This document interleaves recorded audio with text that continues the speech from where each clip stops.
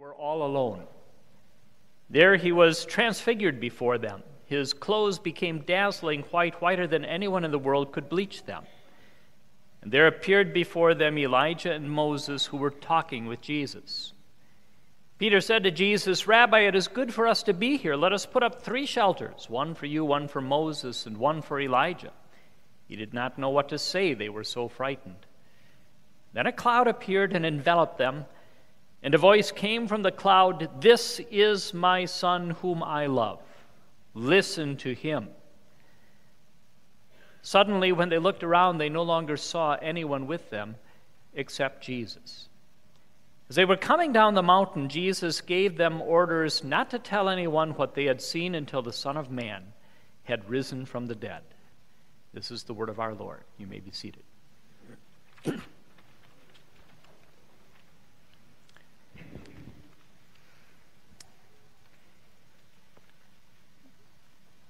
The name of our Lord Jesus, whose, whose glory, though sometimes hidden, is always, always here, dear friends.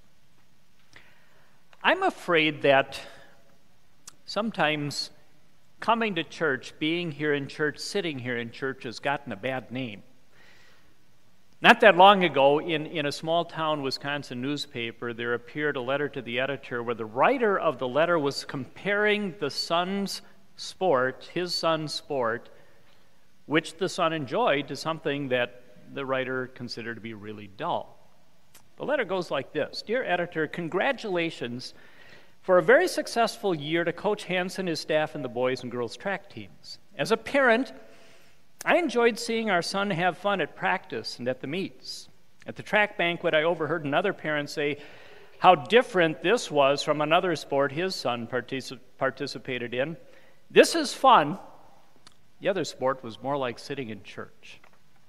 I'm not so sure that that parent scored any points with a lot of the coaches in town, and certainly not with the clergy when they read that letter.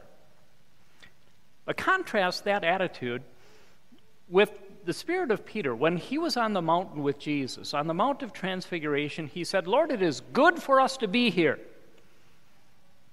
It's good for us to be here because Right here, right now, we have seen your glory. And that provides for us hope and strength. And what a blessing it is to be able to see you in that glory and to be with you right now. I don't know how you felt as you got yourself up this morning, as you ate your breakfast and got ready for church.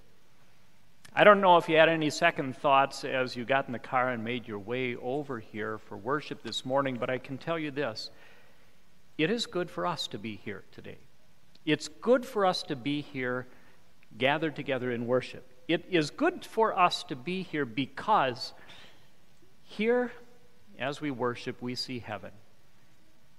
And as we are gathered here together, here we also see and gain hope for the future. Just as the disciples, Peter, James, and John, with Jesus up there on the mountain where Jesus was transfigured, saw that Jesus, their Savior, in all his glory, so also here, when we gather for worship, we see the hidden glory of Christ. And here we find hope for our lives and strength to carry on for the future. But why is it that we don't always feel that way about worship?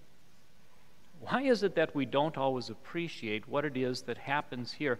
Maybe it's because we're looking past the glory that is, is already here. The transfiguration of Jesus was, was a rather curious event when the disciples saw this happening. It was, must have been for them something of a head scratcher.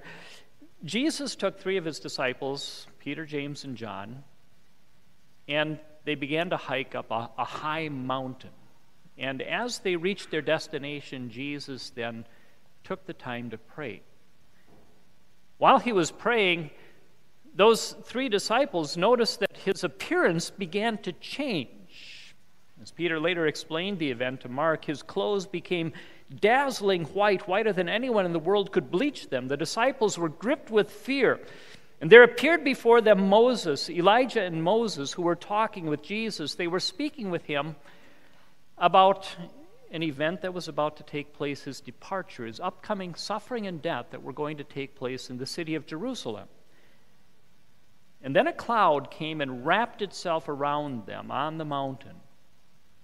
And out of the cloud came a voice that said, This is my son whom I love. Listen to him. This wasn't an illusion, it wasn't a dream, it was something that was absolutely real. Some 30 years later, Peter would write about this event, and he said, We were eyewitnesses of his majesty. We ourselves heard his voice that came from heaven when we were with him on the sacred mountain. And John, who was also there, wrote, We have seen his glory, the glory of the one and only, full of grace and truth. You ever have the thought, I wish I had been there? I mean, for me, I, I, wish I had been there to see the Super Bowl this year. It was a fantastic game. Some people called it an instant classic. In that nice new venue, that stadium in Minnesota, and the halftime show wasn't too bad either, even though the Packers weren't playing this year. It, it would have been nice to be there. I think I really, really would have enjoyed being there.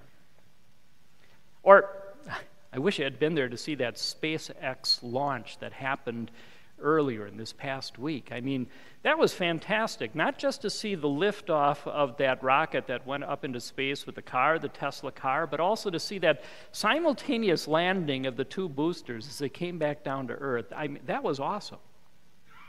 I would have really enjoyed being there to see that in person. I sometimes get that same way about some of the key events in the scriptures. Maybe you do too. I wish I had been there just to be able to hear the Savior speak, to hear him preach. I wish I could have seen the expression in his eyes and to, to hear his, his tone of voice when he spoke. I, I would have loved to be able to see the reaction of the crowds as they heard the gracious words of our Savior come from his lips. If only I had been there, that would have been marvelous. If only if only I had been there with Jesus on that mountain with Peter and James and John to hear the voice of God thundering from the cloud. You know, that would have made a difference for me. It'd be a game changer. I, I could live my life with confidence knowing that my Lord is my Lord. That would make a huge change in my faith. Well, if I get to that point, I need to be careful because I might be missing actually the great glory of God that is right here before our very eyes every time we come together for worship. You see, we don't always appreciate how it is that the Lord shines forth with his presence right here. Only he does it not in the way that he showed his glory up there on the mountain, he does it through ordinary ways, in ordinary words, through ordinary people.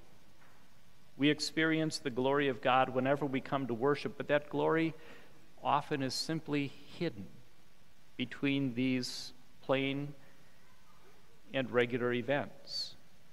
It's here in worship that I hear the word of my Lord and I feel the power of his accusing law as it cuts my heart and says, Sinner, you deserve hell. But it's also here in worship that I feel the greater power, the healing salve of the gospel message that says, Your sins are all forgiven through Jesus Christ. It's here in worship that our children's sins are washed away in the sacrament of holy baptism, but it happens through the ordinary words of a pastor speaking in the name of the Father and of the Son and of the Holy Spirit in plain water that is applied to the baby's head through the promise of God. It is here in worship that we confess our sins before the Lord, humble ourselves before Him, and receive in our hands the body and blood of our Savior, in, with, and under the bread and wine. Ordinary elements. And Here that we hear the words of the pastor saying, Go in peace, your sins are forgiven. Here, we find the instruction that we need through God's word as the pastor proclaims the word here we find the direction that we need for our everyday lives. Here we respond by our songs of praise and our prayers to God. And even though none of this at times appears to be all that fantastic or glorious, still God reveals his glory to us every time we gather together and we worship him in God's house.